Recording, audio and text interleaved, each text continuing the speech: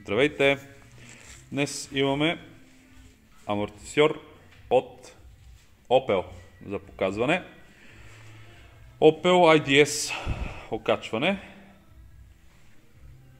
Става въпрос за CTF амортисьор с CDCE External промяна на твърдостта.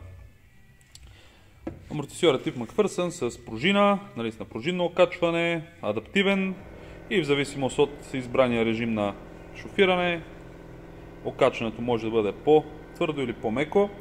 Въпросният амортисьор е от Zafira Tourer, с високо ниво на оборудване, но абсолютно същия тип амортисьори се срещат на Astra, много често на Insignia, и общо взето, а, от време на време на Вектор сме виждали.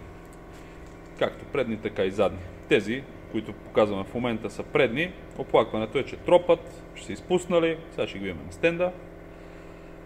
Цената им за нови, доколкото знам, не е много по-голяма от това, което отива за ремонт, но новите, разбира се, не са обслужваеми както при нас след ремонта, а и не са толкова и налични. В смисъл, кога ги има наличност, кога ги няма.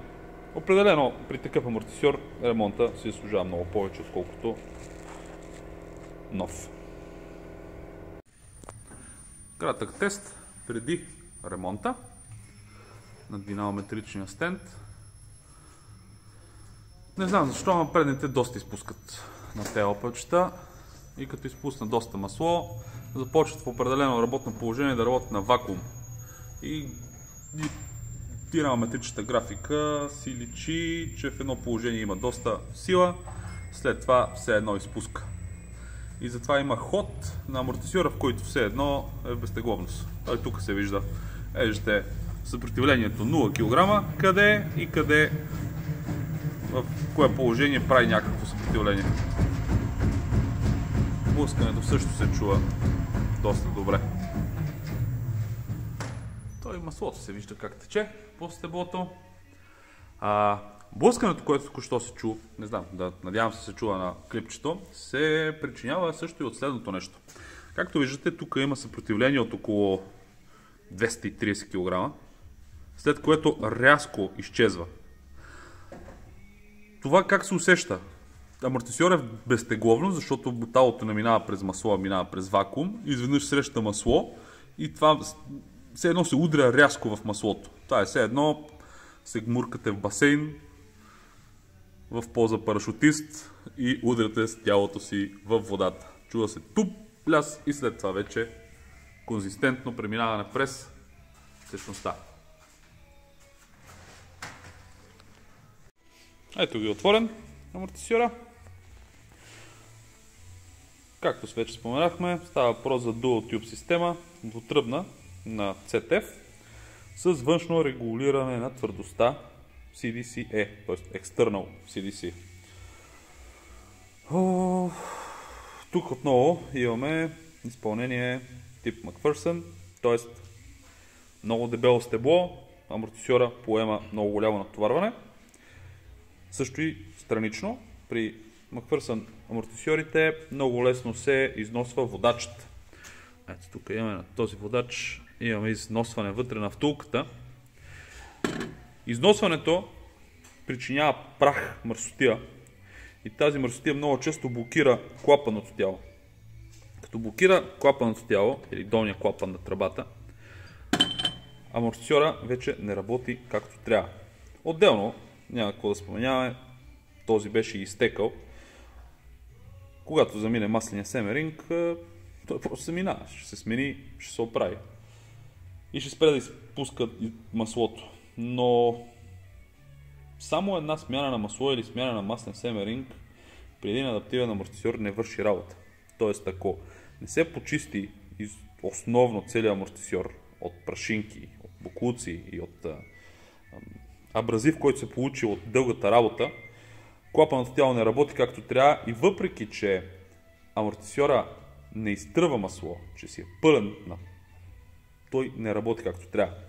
Отделно, солидоидния клапан, т.е. системата за втвърдяване и омекотяване, тук външна, както вече споменахме, може да забие. Тя ако блокира, може да остане постоянно мек или постоянно твърд амортисьора, в зависимост от това в какво състояние, в какво положение е забила.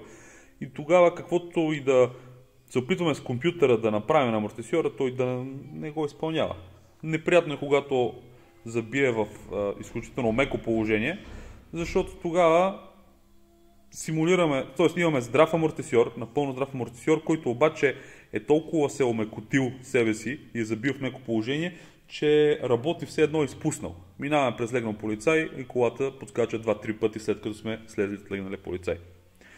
Така че след като всичко се профилактира тук и се сменят, разбира се, износените части, се събира и се слага отново на стенда.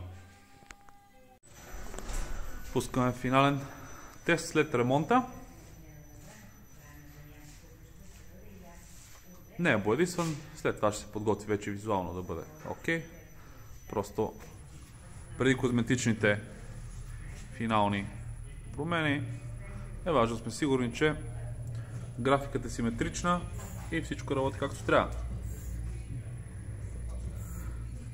Закачили сме и напрежение на соленоида. След малко ще ви покажем как работи твърдяването на соленоида.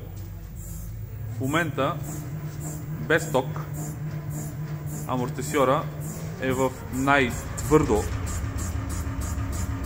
положение. И е доста твърд по принцип.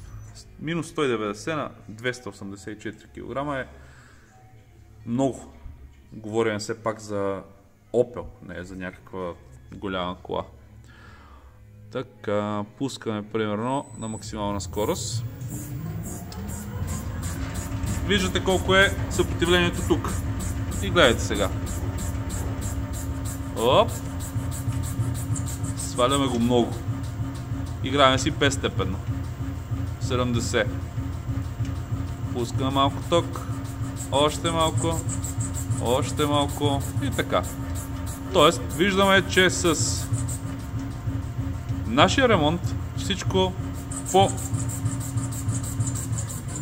адаптивните функции на амортисьора работи безупречно. Както си трябва.